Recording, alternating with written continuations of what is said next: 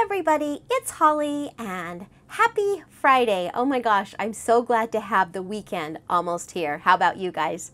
So I wanted to jump on first thing this morning and tell you about uh, two new releases that are in the Nitwit collections today. And it's these two cute little knickknacks. Uh, this first one is called Cup of Cheer. They're both sitting in a cute little coffee cup. But this first one is called Cup of Cheer Easter Wishes. And it's this cute little chick sitting in that coffee cup.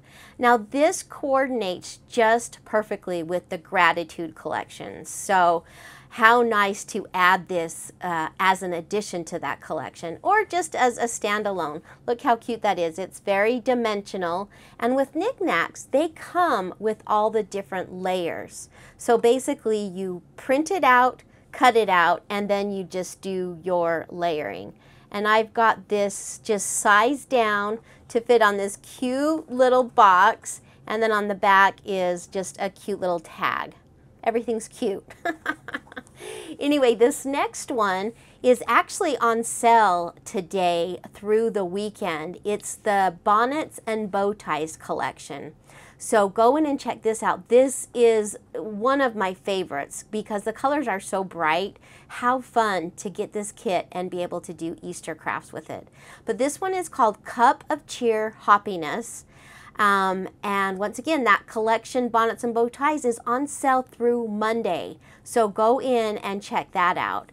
But this also has this cute little tag on the back. And I just, you know, the neat thing with digital collections is you can size it down. And this little box is only, let's see, it's two inches big.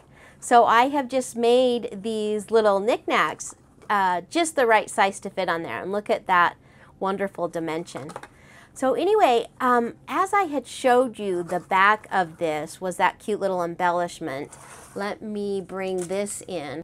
This is a cute little shaker that I have made from this cup of cheer hoppiness, and I just sized it up. The one on the back is coming in at just less than about two inches, and then this one I have made at five inches and it is so cute. I love shakers, but isn't that fun? Now I am going to be doing a tutorial next week on how to make this shaker. So if you know you would like to find out how to make an easy shaker, once again, it's easy make sure you go in and purchase this and then we can make this together next week. So watch for that video coming out. Also, don't forget, I do have a new Facebook group. It's Smile by Holly. I have a Facebook page Smile by Holly and a Facebook group. So make sure that you join the group uh, so that way you can go in and post all of the darling things that you're making